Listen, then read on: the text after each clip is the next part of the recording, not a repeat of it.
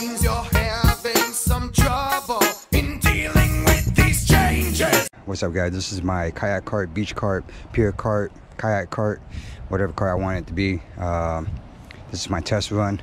Pretty much I'm gonna test the weight capacity of it. Um, I'm gonna put my kayak on it and uh, see how it goes.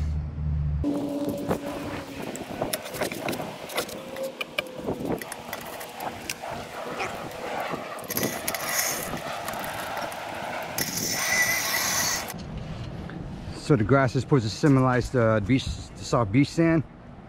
Let's see how fast it goes with nothing on it. Oh, we're running.